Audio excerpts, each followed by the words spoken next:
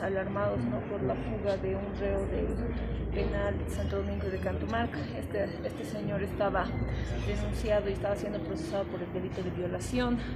Ahora van a hacer seguimiento con nuestra víctima eh, bueno, la misma ha entrado en crisis, puesto que tiene mucho temor a este sujeto.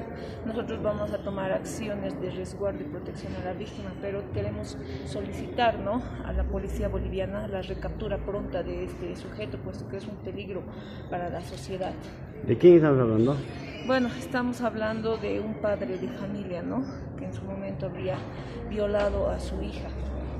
Entonces, nosotros estamos también sumamente consternados y alarmados por esta situación, puesto que no sabemos el paradero exacto y qué es lo que vaya a suceder de aquí en próximas horas. ¿Y en qué condición se había jugado? Bueno, eh, lo que entendemos es, por el reporte del Ministerio Público, que él estaría yendo a firmar y este había evadido a sus custodios y se había dado a la fuga, ¿no? Recientemente, el día de ayer, nos hemos noticiado de esta situación.